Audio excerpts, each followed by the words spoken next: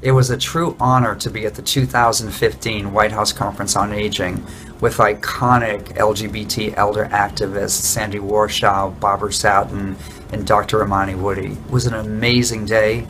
We won some huge policy breakthroughs, and the icing on the cake was to see the Washington Post headline on the White House conference lead with LGBT elders. It was a big, big step forward.